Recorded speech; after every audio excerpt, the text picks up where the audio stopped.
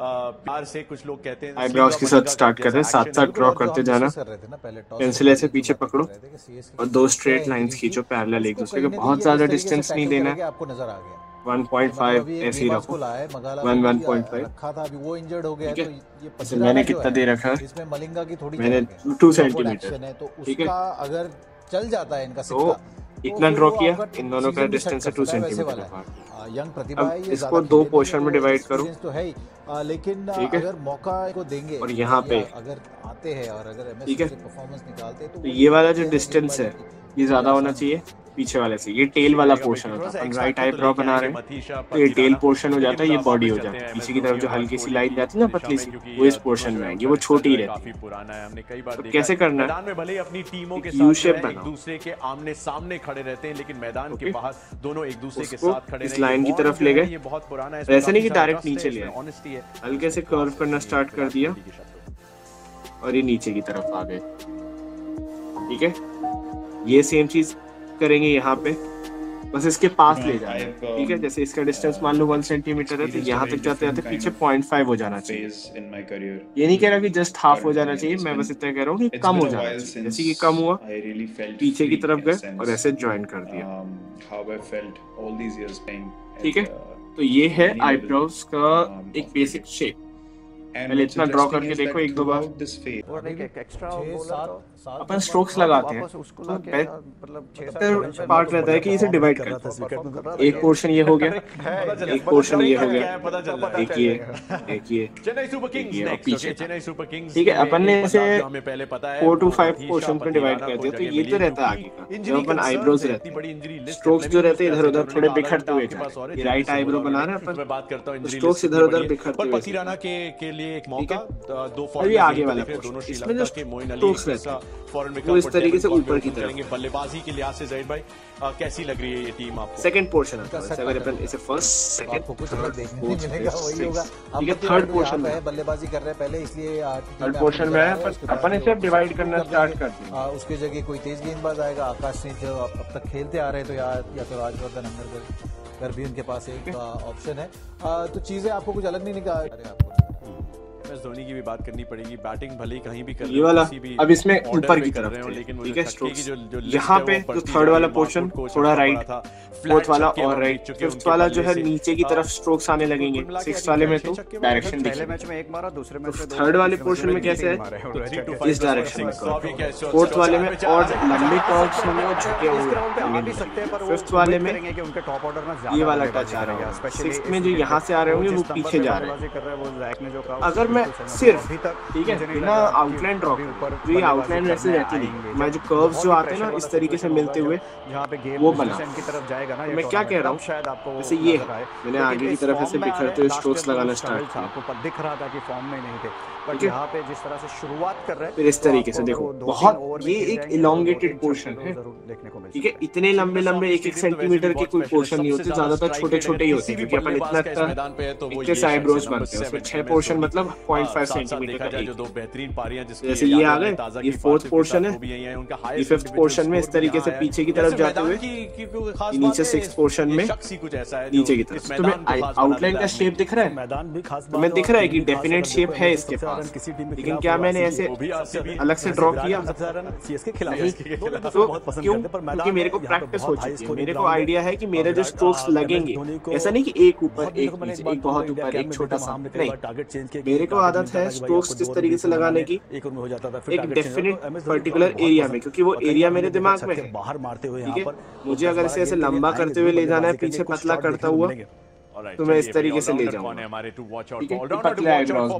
मुझे ये मोटे वाले आईब्रोज बनाने हैं तो मैं इस तरीके से आगे बिखरते हुए बनाया। ऊपर ऊपर तक। थोड़े घने से बना रहा हूँ मैं। ठीक है? मैं तो जब भी ये देखता हूँ चिन्ह स्वामी में मोटर से बने पटेल के खिलाफ इसको भी मैं पीछे ले जाऊँगा। देखो ये फोर्थ वाले पोर्शन में आ गया कर्व होना। इनके सामने लगभग फिफ्थ वाले पोर्शन में आ गया नीचे की तरफ़ से ये अपने सिक्स वाले पोर्शन में आ गया। बाजी में भी रंग में आ जाते हैं। तो मैंने नॉर्मल आईब्रोज पतले आईब्रोज थोड़े मोटे आईब्रोज बना। अब ये मैं कैसे बना पाया हूँ? मैंने पहले इस तरीके से भरना स्टार्ट किया। इसलिए मैंने स्टार्टिंग में पहले होमवर्क दिया था कि ये जो स्ट्रोक्स रहते हैं। कर्व अलग अलग डायरेक्शन में है अच्छे वो यहाँ है हो अच्छे गेंदबाज है। ओके और तो ट्राई करो एक बार पहले इस तरीके से एक लंबी सी बनाओ उसमें। डेफिनेटली थोड़े थोड़े डिस्टेंस पे लाइक वन वन सेंटीमीटर पे कट कर लो।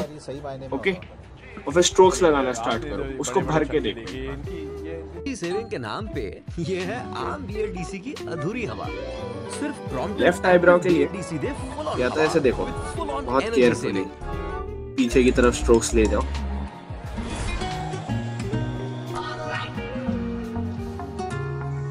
Okay Vivo.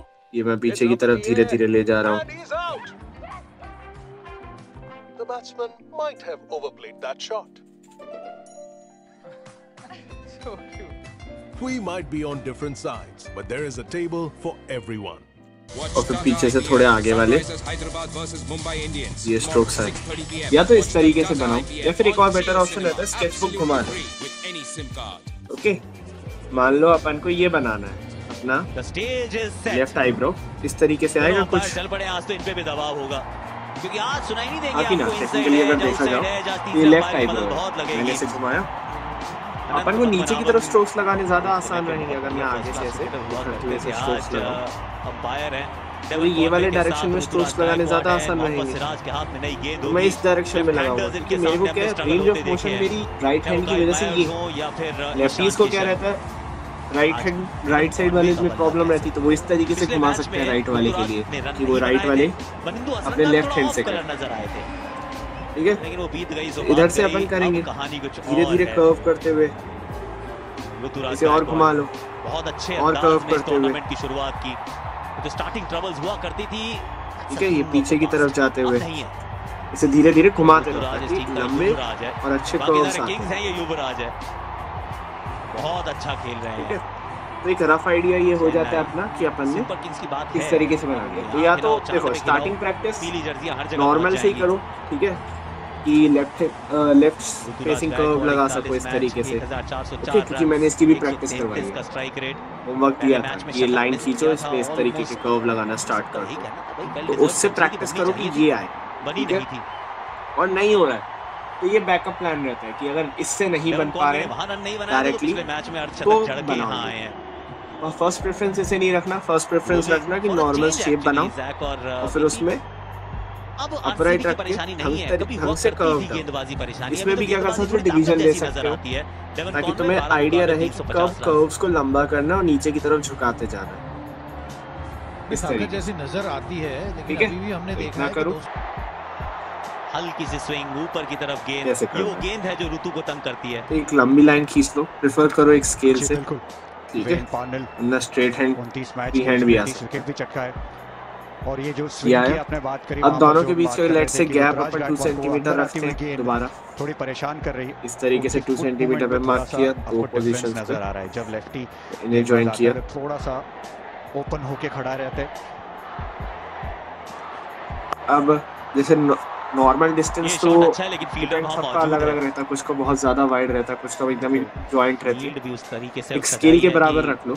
आज मदद नहीं मिलेगी फास्ट बॉलर्स को।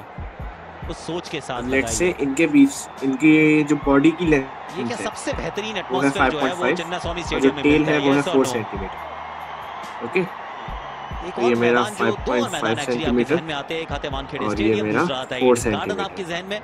और धोनी सेम चीज़ हो अब तो मेज़रमेंट मुझे यहाँ चाहिए होंगे। तो मैंने यहाँ मार्क किया ये रहा अपना सबसे बेहतरीन एटमॉस्फेयर और ये रहा अपना 4 या फिर कोई और? ठीक है। तो मेरे को मिल गए। बहुत ज़्यादा गैप भी तीन मैदानों का ज़िक्र किया ना वो तीन मैदान बहुत ही बढ़िया है। तो प्लेयर ड्रॉ के लिए मैच खेलने के लिए यहाँ पर बहुत ही बढ़िया टाइमिंग कॉनवे के बल्ले से देखने है बहुत ज़्यादा ऐसे भी नहीं ले रहे कि नीचे से स्टार्ट किया हो। के साथ हल्का सा। और फिर ये नीचे दबाव ज़रूर गेंदबाज पे जाएगा। ऐसा लग रहा था कि चका दिया था थोड़ा सा पैर सेम इसी डिस्टेंस पे यहाँ से। एडजस्ट कर गए। और यहाँ से। आगे का टो खोला धीरे धीरे ऐसे कर्व तो करते ले जाओ। जाके लग सकती थी ये गेंद। बट अच्छी पीछे की तरफ़ शुरुआत में बैंगलोर में आपको हल्का सा स्विंग मिलता है। सेम चीज़ यहाँ से। कोशिश करनी भी चाहिए। अगर इसमें विकेट मिलती है तो उससे अच्छी शुरुआत नहीं होगी कोई। ये बनते हैं अपने आईब्रोज ऐसे। सेम चीज़ अपन उस पे कर सकते हैं आईज पे। है यहाँ पे जब ताकत, बनाते हैं ना आपके पास इसे एक्सटेंड कर लो। यहाँ पे एक लाइन खींचो। अच्छी सी शुरुआत हुई है। दस गेंदों में नौ Okay. Chennai Super Kings. Line खींची तो तुमने एक पोजीशन डिफाइन कर दी कि अपनी आय जो है वो इधर पे आती है। तुमने देखा कि इसका इसकी लेंथ है 5 सेंटीमीटर और gap दिया है 1 point. तुमने मार्क किया 1.5 यहाँ पे आपको लेंथ मार्क की कुछ नज़र 5 नहीं आ रहा वो जो तुम्हें आइडिया मिल गया कि यहाँ पे तुम्हें लेंथ तो पता ही है कि ये रहा। आई का बॉक्स आपको तभी दिखती है ना जब अच्छी तरीके से रोलिंग हुई होती है। से इस तरीके से। इसके तो अंदर तुम्हें आई बनानी है। चमक आपको नज़र आती है आईब्रोज में आप देखो। तो चमक नज़र आना एक है, अच्छी चीज़ है और यहाँ पे मैंने क्या बोला था, दोनों equal होने नज़र आ रही है यहाँ पर इस तरीके से लगाने स्टार्ट करें अपन ने। तो उससे कुछ फ़र्क नहीं होगा बहुत ठीक है मैं थोड़ा गैप के साथ दे रहा हूँ। यहाँ पे अब आपको एक brightness लगाना। नज़र आ रही है। यहाँ पे वो अगर आप करोगे तो फिर जैसे के लिए पीछे जाता जा रहा हूँ, मैं ज़्यादा strokes movement लंबे और की curved होते है, वही खड़े खड़े ही मार सकते हैं नीचे की तरफ़ ये झुकते जा रहे हैं। ठीक है, अब सेम चीज़ मुझे यहाँ फॉलो करनी है। ये इस तरीके से उखड़ते हुए गए। ऊपर। It's gone all the way Devon Conway 16 बिना किसी नुकसान। देखो, के नाम पे ये जो स्ट्रोक्स पीछे की तरफ़ जाने लगे कि। स्टार्टिंग से सिर्फ़ 2 सेंटीमीटर पे जाने लगे। तो यहाँ पे भी एक हिसाब रखो कि ये जो पीछे की तरफ़ स्ट्रोक्स जाएँगे।